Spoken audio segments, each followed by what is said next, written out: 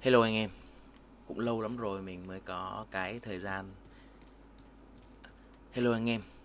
Cũng đã lâu rồi mình không làm video cho channel của mình. Thì uh, gần đây mình có dành chút thời gian vào buổi tối để chơi cái Demon Soul này.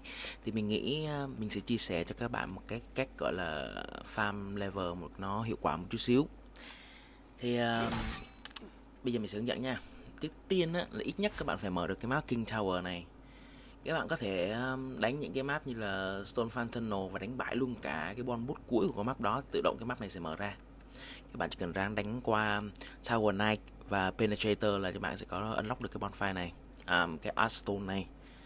Thì um, những cái công cụ để chúng ta có thể farm stone ok một chút xíu mình sẽ giới thiệu cho các bạn. Thứ nhất đó, là bạn phải có ít nhất là bạn phải đang là nữ tại vì nữ đào mỏ mới tốt ý ý mình là farm stone mới tốt vì nữ sẽ có quyền đeo cái găng tay silver bracelet.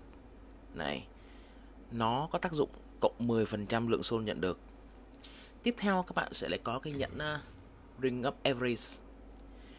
Cái nhẫn này các bạn nhặt nó ở cái map mà đánh con uh, con này nè. Map upper Latria khi các bạn lock được con ở đây thì các bạn cũng sẽ nhặt được nó. Nói chung bạn cứ chờ tới thì bạn sẽ biết. Tiếp theo nữa là một thứ mà nếu như các bạn có đủ lượng mana để sử dụng thì nên dùng. Tại vì cái găng tay này là cộng 10% cái nhẫn này là cộng 40% và cái phép này mà mình đang sử dụng đây. Rồi đây đây đây đây đây. À, đây soul thrust thrust. Cái phép này cộng thêm 50% lượng soul nhận được tức là bạn gần như gấp đôi lượng soul bạn nhận được. Tổng hợp cả ba món này lại nó stack với nhau á sẽ cho phép các bạn có được một lượng xung rất là lớn mỗi lần các bạn giết được con quái.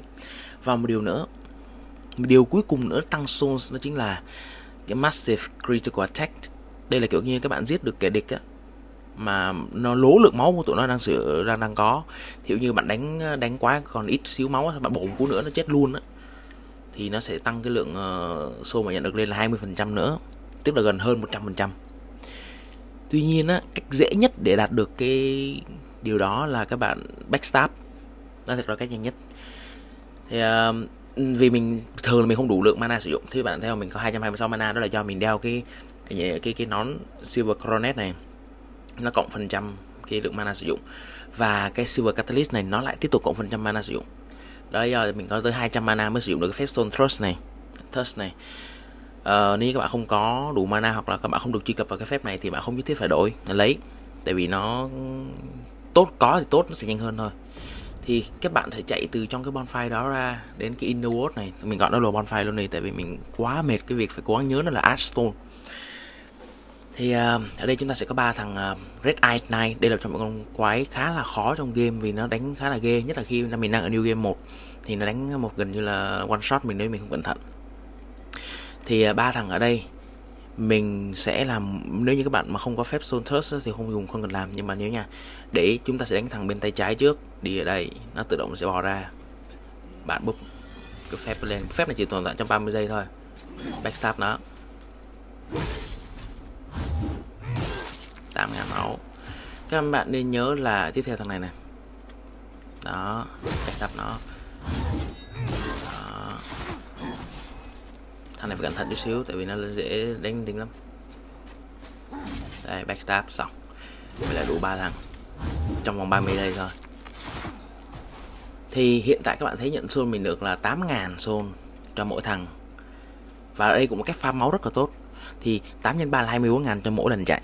Mà mỗi lần chạy chưa tốn tới một phút, nó chỉ khoảng ba mấy bốn mấy giây thôi. Nếu như bạn làm liên tục à, một điều nữa đó là nếu như các bạn để cho cái wall của mình á thí dụ như là cái wall đầu tiên này nó là black pure black thì nó sẽ tăng lượng xô nhận được lên. À, bình thường mình farm thì mỗi một lần mình đánh là được khoảng 12.000 xô mỗi lần đánh. Thì à, mỗi ba lần là ba mươi mấy ngàn xô rồi. Trời ơi farm nhanh kinh khủng luôn. Đó đó là cách mình dùng để farm xô. à, còn một cách nữa đó chính là nếu như các bạn đây cái chính thống còn một cách nữa rất là thú vị và cực kỳ nhanh luôn. Đó chính là các bạn đổi cái phép xôn sắc đây đây đây đây. Cái phép xôn sắc xôn cơ nè rồi sau các bạn gọi một bạn người bạn à, in nhờ bạn của bạn invade sang cái uh, thế giới của bạn. Hoặc là bạn invade sang thế giới của bạn của, của bạn của bạn. À, họ mà có tầm 100 level đổ lên nha mỗi một lần hút mà vẫn stuck với những cái item như là Silver Coronet và cái nhẫn riêng Ring of average này thì mỗi một lần bạn hút soul của họ là một tính bằng một lượng một level mà họ đang có. Thí dụ như là bây giờ nếu mà có idol hút của mình mình sẽ được nhận được 133.000 soul chẳng hạn. À, người đó sẽ nhận được 133.000 soul chẳng hạn. Thì đó sẽ làm cách nhanh cực kỳ để mà lên level nếu như bạn có plus các bạn có online và các bạn có bạn. À, nói chung thì uh, cảm ơn các bạn. Theo video ngắn này goodbye.